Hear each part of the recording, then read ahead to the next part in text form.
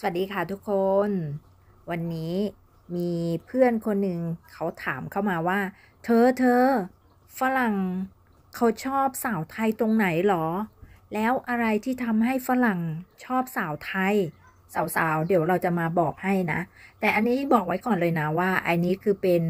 เคสของคุณลุงกับเรา เพราะว่าเราไปถามคุณลุงมาว่า คุณลุงชอบเราตรงไหน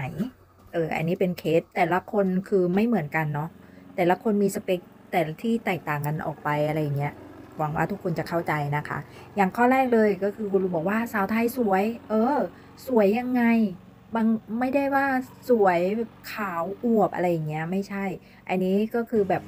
เป็นตัวของตัวเองเป็นธรรมชาติอะไรอย่างเงี้ยขนาดเราไม่แต่งนงแต่งหน้าคุณลุงก็ยังบอกว่า เอ้ยสวย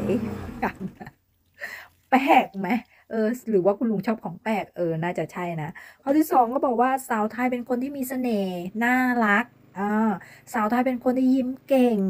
และสาวไทยเป็นคนที่อัธยาศัยดี สาวไทยเป็นคนที่เอาใจเก่งปากหวานอะอันนี้ก็ไม่เถียงนะ เพราะว่าเราก็ว่าเราก็ค่อนข้างเอาใจเก่งเหมือนกันอะไรอย่างเงี้ยแต่บางทีก็ก็ถึงไม่ถึงกับไม่นะ แต่มันคงที่มันอยู่ที่ว่าเขาชอบเราเหมือนประมาณว่า ถ้าคนที่มันจะรักอะเนาะเป็นยังไงมันก็รักอะเอออะไรประมาณเนี้ยในความคิดของเราอะนะข้อต่อมาก็คือสาวไทยเป็นคนที่ take care เก่งอะอันนี้ไม่เถียงสาวไทยส่วนมากเลยจะค่อนข้าง take care เก่งมาก แล้วก็สาวไทยเป็นคนที่ทำกับข้าวเก่งอะไรอย่างนี้เออพอเขาได้ชิมลิ้มรสอาหารไทยแล้วเออติดใจ อันนี้แหละเป็นเสน่ห์อีกอย่างหนึ่งของเราเลย ทั้งหมดอาจจะไม่ใช่คำตอบที่ถูกต้องหรือว่าดีที่สุด เพราะว่าแต่ละคนเนี่ยก็จะมีมุมมองของแต่ละคนที่แตกต่างกันออกไป